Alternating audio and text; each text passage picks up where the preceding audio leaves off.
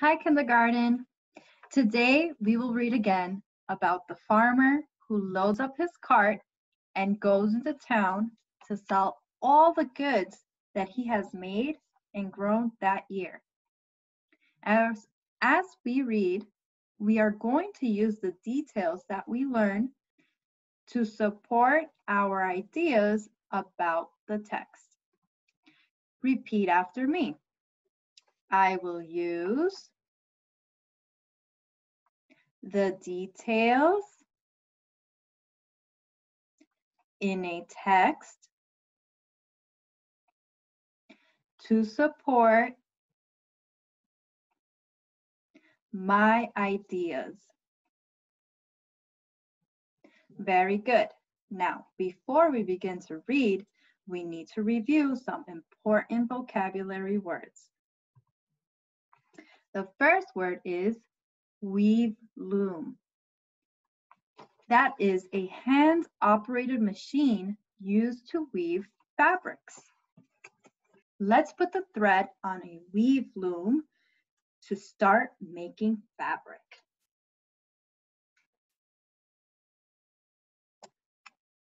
This is just my imaginary, my make-believe weave loom.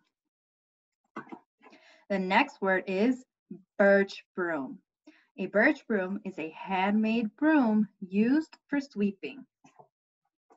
Now I have made my own mini birch broom. Let's pretend to sweep the floor with our birch broom. The next word is shingles. Shingles is a piece of material laid in overlapping rows to cover roofs or sides of a house. Now, it has a beautiful pattern on this roof. Let's use our hand to pretend to touch the texture of the shingles on the roof.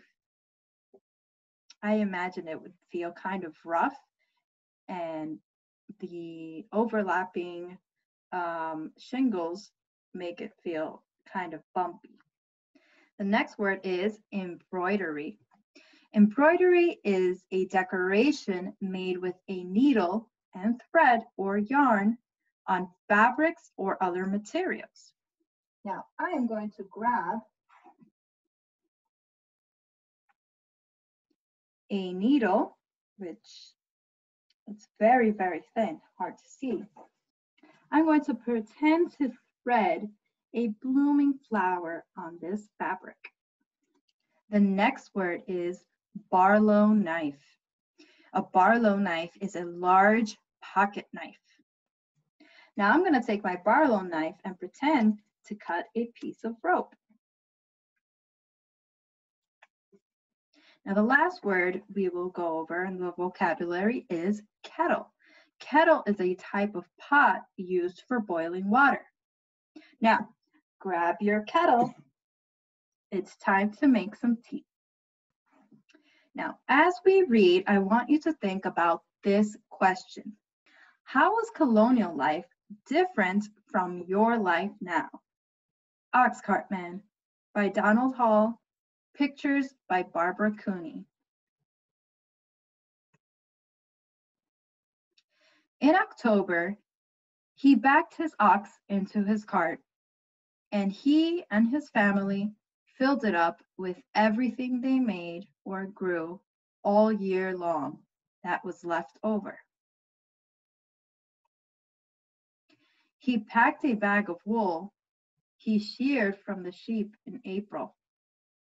He packed a shawl his wife wove on a loom from yarn spun at the spinning wheel from sheep sheared in April.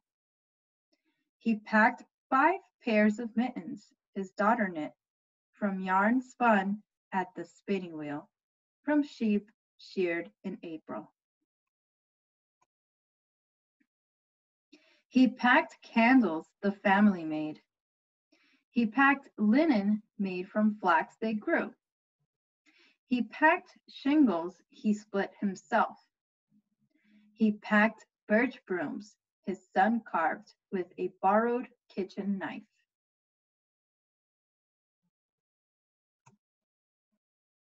He packed potatoes they dug from their garden. But first, he counted out potatoes enough to eat all winter and potatoes for seed next spring.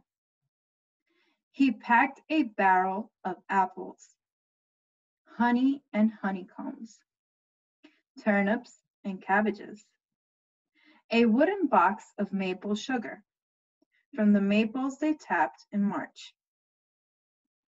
When they boiled and boiled and boiled the sap away. He packed a bag of goose feathers that his children collected from the barnyard geese.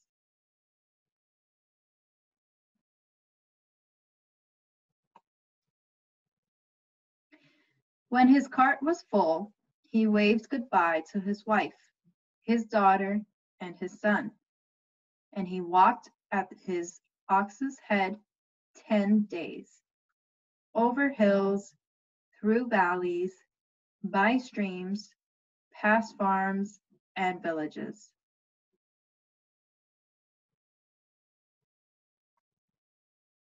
Until he came to Portsmouth and Portsmouth Market.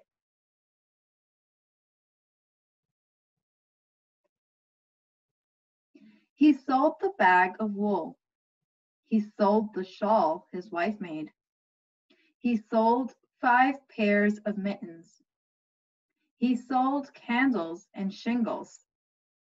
He sold birch brooms. He sold potatoes. He sold apples. He sold honey and honeycombs, turnips and cabbages. He sold maple sugar. He sold a bag of goose feathers.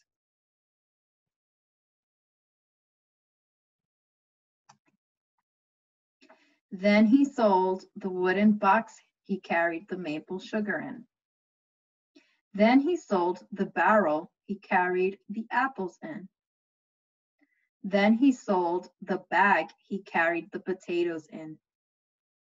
Then he sold his ox cart.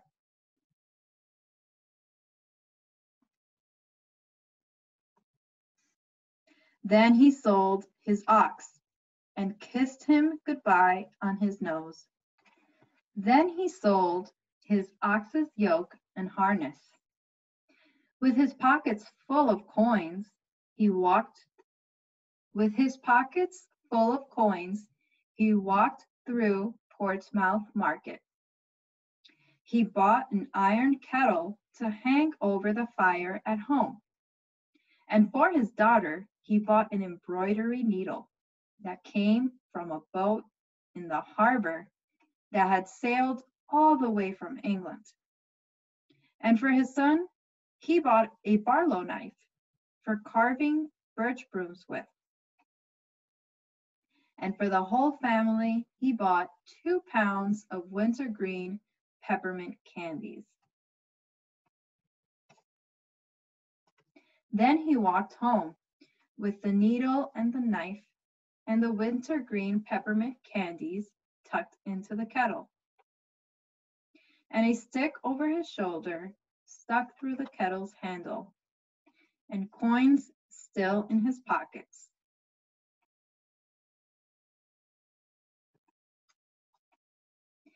Past farms and villages, over hills, through valleys, by streams, until he came to his farm, and his son, his daughter, and his wife were waiting for him. And his daughter took her needle and began stitching. And his son took his Barlow knife and started whittling. And they cooked dinner in their new kettle and afterward everyone ate a wintergreen peppermint candy. And that night, the ox cart man sat in front of his fire, stitching new harness for the young ox in the barn.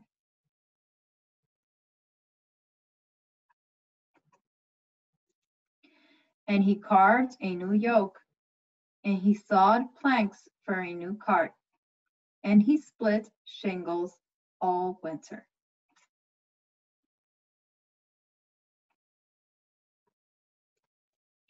Now, we already learned that goods are items or objects with value that we can use, buy, or sell. Colonial families made and grew their own goods in their farm so they can survive. Turn and talk. What goods did the colonial family in this story make or grow in their farm? That is correct. The family made items such as linen for the home and to wear, brooms for sweeping the floor, and even an ox cart to transport objects to other places.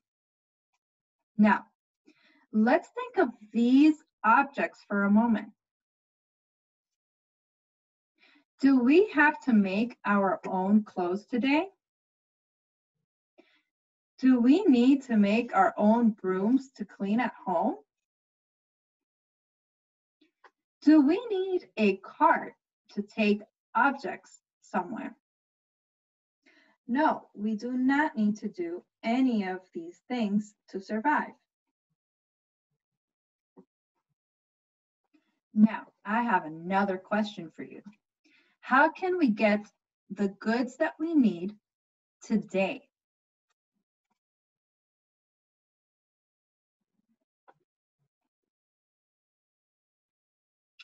That is correct. Today, we do not have to make most of the items we need to survive. Also, we do not have to live on a farm to grow our own goods. We buy our clothes from clothing stores. We buy our food at supermarkets and cleaning objects such as brooms at convenience stores. In this story, the ox cart man traveled with his ox, pulling a cart filled with goods he was going to trade in town. I want you to turn and talk. How do we take objects from one place to another today?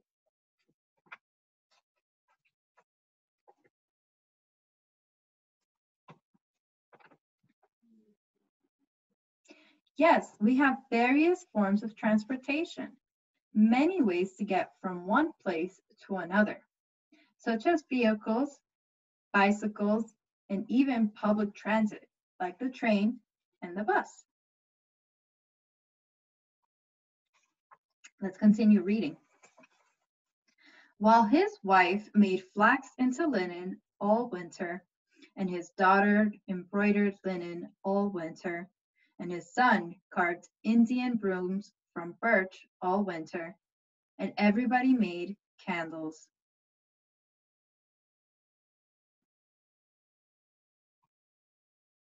And in March, they tapped the sugar maple trees and boiled the sap down.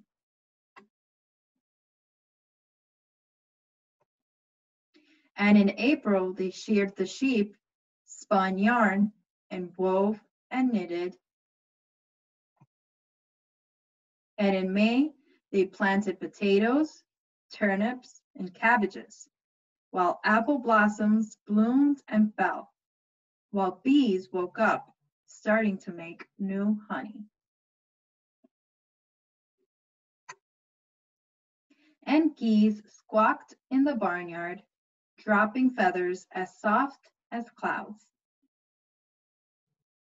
The ox cart man sold all the goods in the market and received coins in exchange.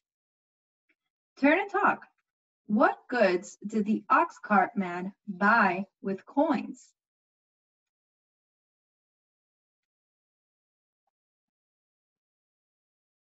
Yes, he bought an iron kettle, an embroidery needle, a barlow knife, and peppermint candies.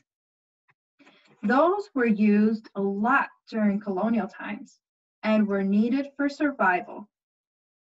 Today, we do not need these specific items for survival. I want you to turn and talk again. How is the ox cart man's life different from your life today?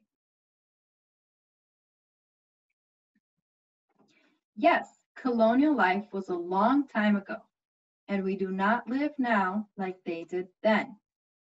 Today, we can go to stores to obtain the goods we need to survive. We do not have to live in a farm to harvest our own goods.